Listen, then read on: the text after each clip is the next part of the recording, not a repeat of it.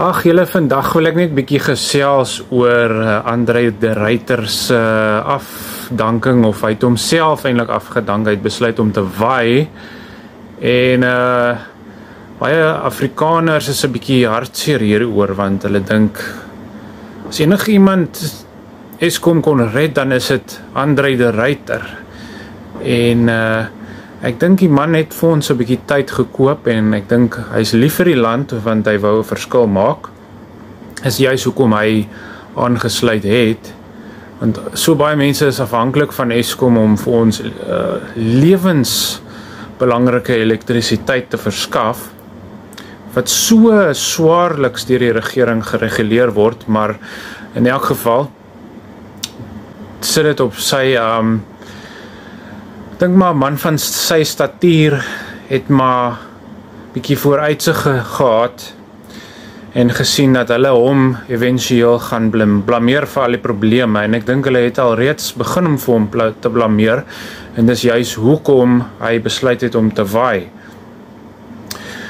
Maar uh baie van ons is so kwaad oor al die probleme in die land, baie van ons Afrikaners in spesifiek hou daarvan om rondom ons braaivleisvure te gesels oor al die land se snert en al die probleme wat ons mee te doen het.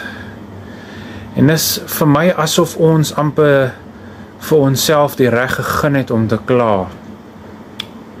Want dinge was soveel beter gewees. Maar dis nie te staan ons het hard gewerk om die land te bring waar dit is. Ons het nie alleen gedoen nie, daar was ander kleriges en ander mense wat ook gehelp het om te bou. Ons staan nie op ons eie nie. En ek is ook nie een van daai mense wat glo dat ons net uniek is nie. Ek glo ons is geroep as 'n as 'n volk en die Afrikaner is geroep om die Here se naam groot te maak. En wanneer ons vergeet om daardie ding te doen en dit daardie rol in ons lewe te vervul. Dis dan wanneer ons paadjies sywaarts gaan en ons begin trots en arrogant te raak. Ons begin lig geraak te raak. Baie uh cynical en ons begin te te grappies te maak oor al die probleme, um grappies aan te stuur en prentjies aan te stuur en grappies op te maak rondom ons braaivleisvure. Maar ten spite van die feit dat ons dink ons is besig om lig te maak van 'n ernstige situasie want joe, ons werk so hard en ons moet maar net oorleef, jy weet. Um vind God dit baie ernstig. En dis nie 'n grap nie want God vereensgewig homself nie met 'n nasie of 'n taal of 'n kultuur of 'n velkleur nie. God vereensgewig hom met mense wat hom vrees. En dit maak nie saak dan wat kleur jy of wat se um etiket jy het of hoe jy lyk of wat met jou aangaan aan die buitekant. Die God gee om vir jou hart. En God is besig om met hierdie groep mense soos ek en jy wat die Afrikaner is te deel. En dit wil vir my sê dat ons nog steeds op 'n redelike veilige plek is. Maar vir die wat nie wat weier om tot bekering te kom, daar gaan 'n swaar prys wees vir julle en vir daardie mense wees om te betaal as hulle nie hulle self bekeer nie. Maar God gaan ons genadig wees. God gaan ons kans gee om ons rug op die sonne te draai, rug ons rug op ons verkeerde leefstylkeuses te te maak. En uh bedraai van daai dinge. My vroukie het so mooi scripture gestuur vanoggend op Facebook. Ehm uh, en dit is ehm um, Handelinge 10 vers 34 tot 35. En dit sê dat God does not show favoritism God het nie wit broodjies nie. But he shows honor to those who fear him. He shows honor to those who fear him out of every nation, tribe and tongue.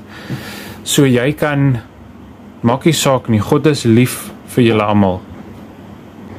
En onthou wat ons nou ervaar in hierdie land is nie iets nuuts nie. Daar was pandemies gewees in die verlede. Daar was um hongersnodig gewees, daar was vloede gewees, daar was instortings van regerings gewees en um grootskaalse armoede dit alles hè was al in die verlede gewees en geskiedenis herhaal net homself. En ten spyte van dit alles het God vir ons nog steeds 'n rekord gegee van sy getrouheid dat hy ons nie in die steek sal laat nie. En dat net soos die Israeliete wat Egipte verlaat het, Egipte was basies in 'n staat van instorting gewees, net soos hierdie land Suid-Afrika nou besig is om te gebeur. Maar God het sy kinders, die Israeliete, het hy laat uitgaan en hy het vir hulle in die beloofde land ingebring. Hy het hulle deur die Rooi See gevat. Hy het hulle manna uit die hemel gegee en kwartels uit die hemel uit. Hy het vir hulle ehm um, water uit 'n rots laat tap.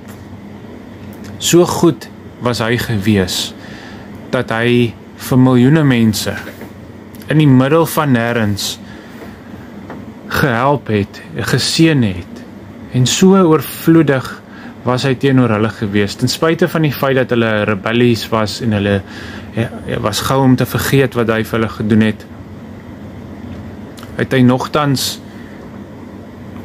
vir die Israeliete in die beloofde land ingebring. Maar ook net 'n handjie vol.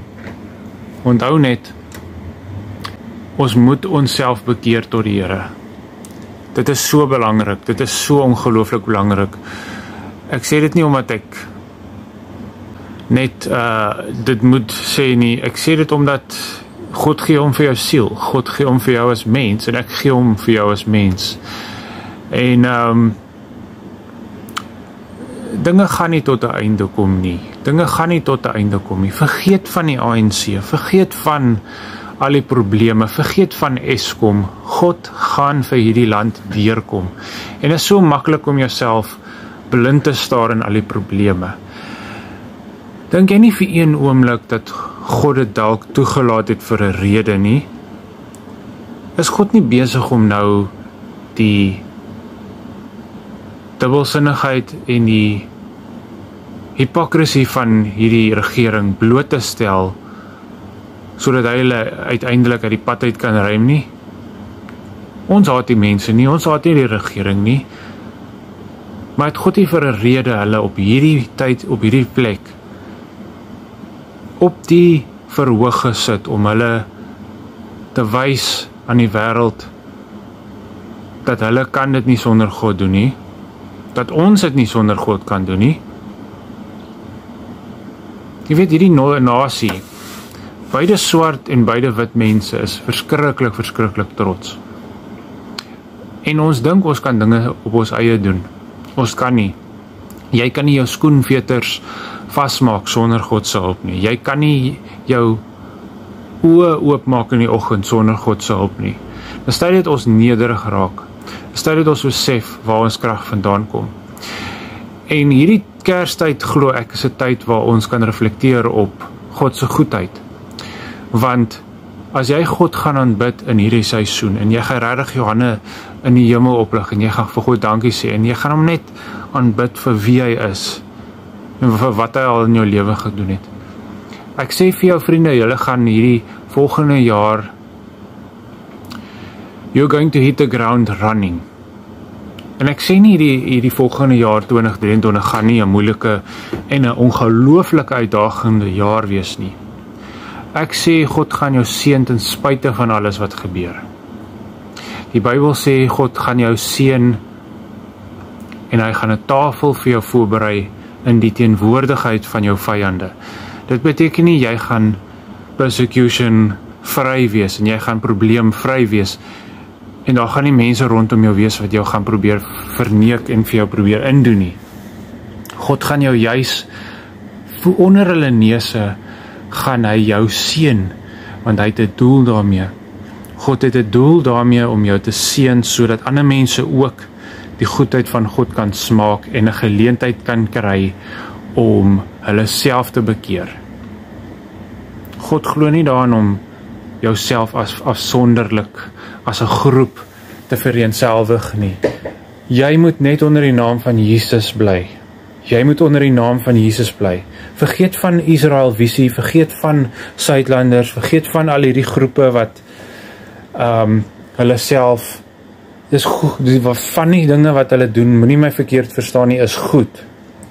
En ek sal very likely as ek in hulle posisie was ook dieselfde gedoen het. Maar moet jouself nie vereenselwig onder 'n naam nie, want wanneer jy dit doen, veroorsaak jy aspirus verdeeldheid. Daar's net een naam wat jy jouself mee moet vereenselwig en dit is die naam van Jesus, Jesus Christus. In die hemel is daar verskillende kleure van mense. Jy sal verbaas wees wie almal daar is. So moenie Moenie jouself beperk tot net jou taal of jou groep mense nie, alhoewel daai dinge goed is. Ons moet 'n gemeenskaplike doelwit bereik. Maar dis die Heilige Gees wat regtig vereniging bring. Is wanneer ons onsself verneder voor die hand van God en ons vergader in eenheid soos die disippels in die boonste kamer hulle self vergader het Hulle het op hulle knieë gegaan en hulle self verneder voor God en hulle het vir God gevra om hulle te help en hulle was vol van die Heilige Gees gewees. En daar was net wonderbaarlike dinge wat daar uitgebreek het. Petrus nadat hy Jesus verloon het, het met met uh boldness, ek ken nie net die Afrikaanse woord nie, met boldness sy eerste sy sermon gepreach en 3000 mense het hulle self tot die koninkryk van God ge geadd en hulle het hulle self bekeer en hulle was gedoop gewees. Jy vandag wat daar sit, jy het 'n versko verskoning om jouself te te laat doop as jou hart vir die Here reg is nie. Want die man wat langs aan Jesus was, het nie tyd gehad om dit te doen nie. Jy het nog tyd om jouself en jou saak reg te maak met die Here. So doen dit vandag terwyl jy kan. Praat van die groot doop, nie toe jy 'n baba was nie. Ek praat van die groot doop. Jy moet jouself vereensgewig met die mense van God wat hulle self onder sy banier bymekaar kom en sy naam groot maak. So wat ek sê is nie dat ons ehm uh, nie moet beklei teen teen ongeregtigheid nie en dat ons nie moet beklei vir wat reg is nie.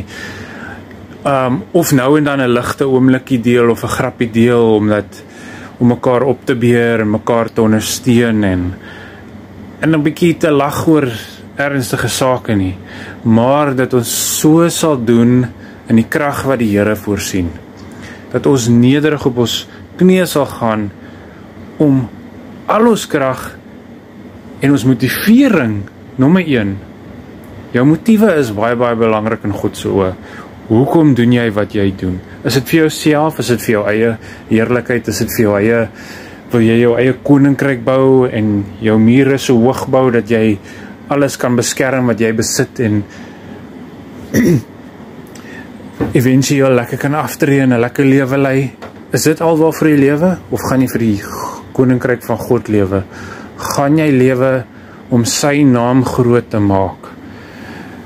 Die eerste stap om tot bekering te kom is om jou wil en jou motiewe en dit wat jou dryf voor die troon van God neer te lê om dit voor sy voete neer te sit by die kruis by die voete van Jesus neer te lê en jouself as 'n lewende offer aan God voor te stel want selfs dan Slegs dan sal God vir jou die krag gee en jou met die Heilige Gees vervul om te doen dit wat hy vir jou beplan het in jou lewe voor die dag wat jy gebore is. Dit wat hy beplan het vir jou te te bekragtig en vir jou te lei en as jy sal 'n stem hoor wat agter jou sê, gaan hierdie of draai regs of draai hierheen en God sal jou baie gelyk maak.